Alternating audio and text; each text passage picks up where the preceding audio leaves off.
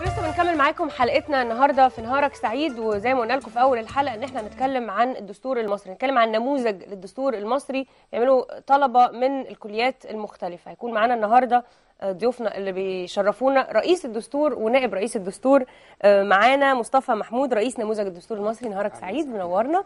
وعبد الحميد محمد نائب رئيس نموذج الدستور المصري منورنا. أهلا بحضرتك. بداية كده قبل ما نفهم إيه موضوع الدستور وإيه الايتمز اللي بتشتغلوا عليها أنا عايز أعرف إيه موضوع النموذج بس نموذج الدستور المصري. هو موضوع النموذج في البداية هو النماذج أصلا عموما بتقوم على إن إحنا فكرة في الواقع بنحاول إن إحنا نحكيها يعني مثلا بنشوف حاجة مثلا زي الأمم المتحدة وبنعمل زيها. دي حاجة أصلا بتشتهر بيها كلية الاقتصاد والعلوم السياسية في جامعة القاهرة أنا طالب في اقتصاد وعلوم سياسية بس بيشترك فيها كل طلبة الجامعات المصرية يعني عبد الحميد من كلية كلية هندسة. فالنماذج في العموم بتقوم على إن فكرة في الواقع مثلا زي الأمم المتحدة زي منظمة المؤتمر الإسلامي زي الدستور زي مجلس الشعب وبنحاول إن إحنا نعمل نموذج طلابي بيحاكي هذه الفكرة. ده بقاله سنين يعني أيام ما أنا ده بقاله إحنا من. أكتر من 18 سنة بدأت النماذج في كلية الاقتصاد والعلوم السياسيه فالنموذج بتاعنا هو نموذج الدستور. سؤال بس عايز أعرف جزء ال logistics يعني أنتوا اللي بتختاروا النموذج اللي أنتوا عايزين تشاركوا فيه ولا بيتم توزيعه من قبل حد معين؟ لا إحنا كل بيبقى فيه طالب معين بيقوم بالفكرة. بيبقى هو صاحب الفكرة بيعرضها على إدارة الجامعة فبيتوافق عليها من إدارة الجامعة وبيبتدي هو بقى يكون ناس. بيقسم النموذج ل... لأكتر من آه، لجان كتيرة. بيبقى فيه البريزيدنت بتاع النموذج اللي هو رئيس, رئيس النموذج. وبيبقى تحتيه اللجنة اسمها اللجنة المنظمة ولجنة تانية اسمها اللجنة الأكاديمية. اللجنة الأكاديمية عندنا في نموذج الدستور المصري بتتكون من ثلاث لجان بتنقسم من لثلاث لجان. اللجنة الأولانية لجنة الحقوق والحريات. لجنة الحقوق والحريات هي بت- بتبقى بنناقش في- فيها كل ما يتعلق بالحقوق اللي هتبقى موجودة في الدستور. وإيه اللي هيبقى موجود إيه المفروض اللي كان موجود في الدساتير اللي قبل كده؟ دستور سنة 54 كان ناس كتير بتقول إن الدستور ده أفضل دستور اتعمل. فإحنا عايزين نناقش بيتناقش عندنا وبيتدرس عندنا من من بعض الطلاب الأكثر خبرة. بيتناقش إزاي الدستور ده إيه اللي كان موجود فيه دستور 71 إيه العيوب والمزايا بتاعته. فاحنا بندرس في البداية أو بنشرح للطلاب اللي هم الجدد في النموذج إيه الأفكار اللي كانت موجودة. هو النموذج بيبقى يعني كل سنة بيبقى نموذج بيبقى نماذج كل مختلفه سنة بيبقى نموذج مختلف. نموذج واحد للكليات كلها ولا لا كذا نموذج بيبقى كل أكتر؟ من نموذج بيبقى في أكتر من نموذج داخل ال- الجامعة. تمام. آه عبد الحميد أنت أول مرة تشارك في لا أنا أكيد عشان أنا نائب الرئيس فأنا شاركت على مدار أربع سنين. أيوة. كنا الأول في نموذج اسمه نموذج مجلس الشعب وبعد كده نموذج تصحيح العالم. نموذج تصحيح العالم دوت ابتدينا فيه. كنت الأول head مصطفى برضو إحنا في لجان منظمة. اللجنة المنظمة اللي مصطفى كان بيقول عليها دي بتنقسم لثمان لجان. ثمان لجان بيبقى فيه في كل لجنة head vice head وبعد كده ال member. رئيس ونائب رئيس وعضو. وعضو. إحنا الأول أنا ابتديت في الأول عضو وبعد كده بقيت نائب رئيس نائب رئيس اللجنة وبعد كده رئيس اللجنة وبعد كده طلعت بقيت حسب اجتهاد الشخص وحسب ال plan اللي انت بتقدميها. لأن انت بتعملي plan على السنة كلها. الخطة بتاعت السنة. الخطة بتاعت السنة. فإحنا الحمد لله السنة دي كانت آه، فكرة النموذج دي دي فكرة جديدة عملناها بالاشتراك مع مصطفى. قدرنا إن إحنا نكون ال team نكون اللجنة المنظمة. اللجنة المنظمة عندنا بتكون من 8 لجان. الثمان لجان عندنا في لجنة ال reception اللي هي لجنة الاستقبال. دي اللي بتستقبل الطلبة الجدد داخل الجامعة جوه الجامعة. شغلها كله بيبقى إحنا عندنا مقر دعائي شغال دلوقتي حالا داخل جامعة القاهرة. الطلبة بتبتدي إن هي تقدم وبيتعمل بيملوا زي application آه بعد كده بيتعمل معاهم interview كل دوت اللي بيقوم بتنظيمه واستقبال الأعضاء طلبة ال reception الناس اللي بتبقى شغالة في ال reception بعد كده عندنا لجنة اسمها ال coordination تنسيق. دي التنسيق. التنسيق دي اللي هي بتنسق بين الأعضاء وبعضهم وبتنسق بين إن إحنا مثلا عايزين بنعمل مؤتمرات بنحجز قاعات بنعمل حفل افتتاحي حفل ختامي بيبتدوا إن هم ينسقوا الموضوع ده.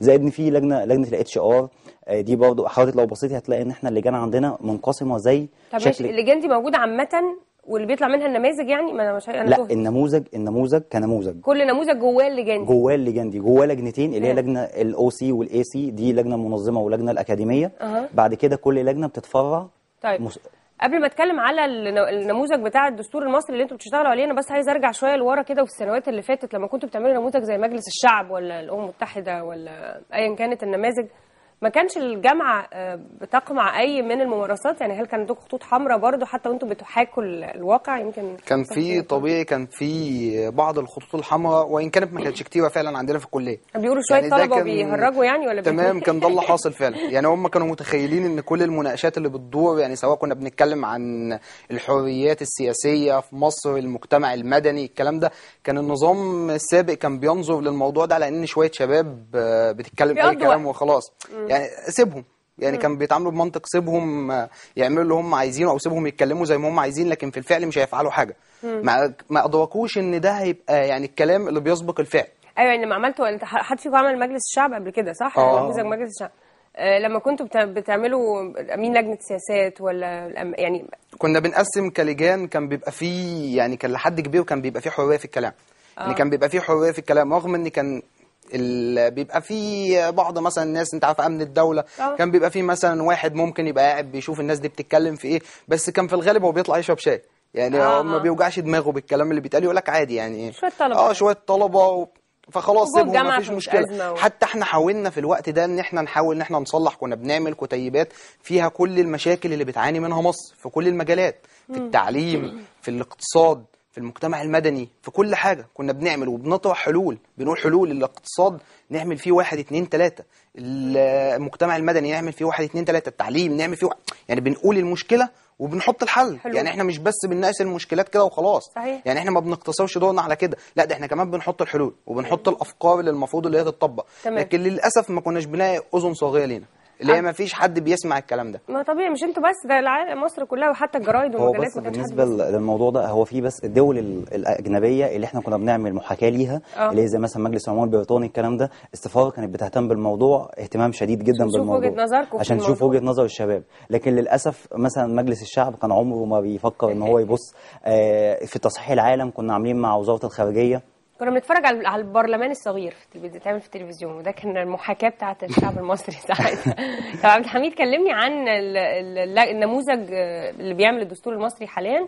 أنتوا كام حد؟ كام شخص؟ إحنا مواطن؟ لحد الآن لحد الآن حوالي 40 طالب من مختلف الجامعات من مختلف عندنا ناس من علوم آه، ناس من جامعة عين شمس ناس من أكاديمية أخبار اليوم ناس من جامعة القاهرة لأن النموذج بتاعنا شامل كل الجامعات. طيب. مش بنتوقف على جامعة القاهرة. زائد إن عندنا من كل الكليات في هندسة في اقتصاد وعلوم سياسية في علوم في تجارة في آداب كلهم نفس كلهم رابعة ولا في من أولى لا في في من أولى أكيد إحنا بنعمل كوادر آه. آه مثلا السنة الجاية آه ممكن عبد الحميد ومصطفى ما يبقوش موجودين طبعا. لازم يبقى في حد مؤهل إن هو يمسك حاجة بعديه فلازم بيبقى في طالب من تانية وطالب من أولى زائد إن إحنا آه والنبي مهم قوي تأهيل ناس تمسك مكان ناس دي عشان إحنا بنعاني لا إن. إحنا كمان إحنا بننزل يعني إحنا الفترة اللي بقول لحضرتك عليها اللي إحنا في الجامعة دلوقتي إحنا معظم ال target بتاعنا داخل الجامعة الطلبة الصغيرين اللي هو أولى تانية الجزء ده هو اللي بيجي يملى معانا application وبنحسسه بالاهتمام تمام. فبيبتدي وبنرعاه بقى طيب. بنبتدي نعلمه خليني أتعامل معاكم على إنكم لجنة المية اللي هتعمل الدستور أنتوا قلتوا إن عندكم فئات عمرية مختلفة عندكم كليات مختلفة هل عندكم النوع مختلف يعني مراعيين إن يبقى في gender equality إن البنات قدام الولاد آه، مسيحيين آه، يعني موجود احكي لي كده عن التنوع.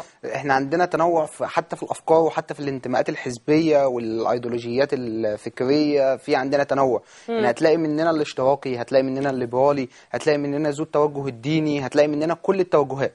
حلو. في الأربعين في, أنتوا ال... في اللجنة لا في اللجنة اللي هي يعني تحط نموذج الدستور.